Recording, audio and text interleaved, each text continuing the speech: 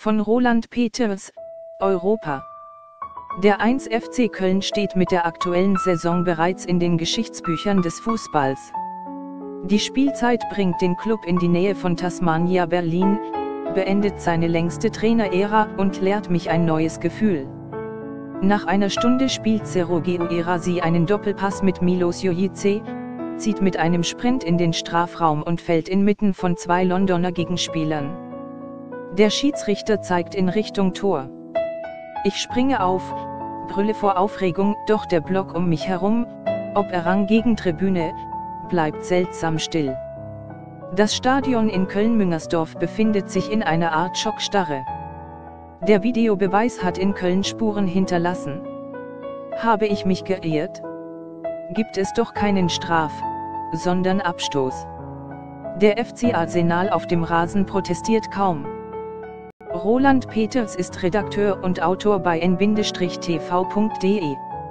Sonst befasst er sich meistens mit Politik, Wirtschaft und Gesellschaft. Sein Heimatverein 1 FC Köln hat ihn nun erstmals mit nach Europa genommen. Deshalb schreibt er hier als Fan. Die Mannschaft, meine Mannschaft des 1. FC Köln, hat davor wie die Maus vor der Schlange reagiert, aufgekratzt, um ihr Leben rennend, aber chancenlos. Doch Geo Irasi bleibt cool und schießt den Ball mit Karacho in die Tormitte. Der Rest ist Abwehrschlacht und ein surrealer Sieg gegen Arsenal in der Gruppenphase des UEFA-Pokals 2017-18.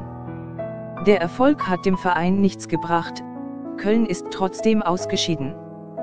Das Endspiel bei Roter Stern Belgrad wurde verloren. Was habe ich als Fan davon, alle Pokalpartien einer Mannschaft zu begleiten, die ohnehin zum Verlieren verdammt ist?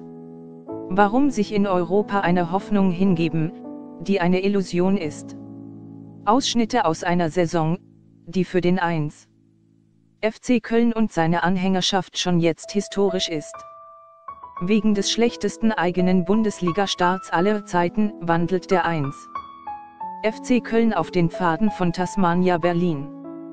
Die Amateure aus der Ostenklave der Bundesrepublik siegten in der gesamten Saison 1965-66 zweimal und spielten viermal Remis. Das Torverhältnis betrug am Ende 15 zu 10-8. Tasmanias Scheitern war ein Abstieg für die Ewigkeit, davon war die Fußballwelt überzeugt. Bis sich der FC im Mai für seine erste UEFA-Pokalsaison seit 25 Jahren qualifizierte und zugleich aufhörte, torgefährlich zu sein. Die bisherigen nationalen Misserfolge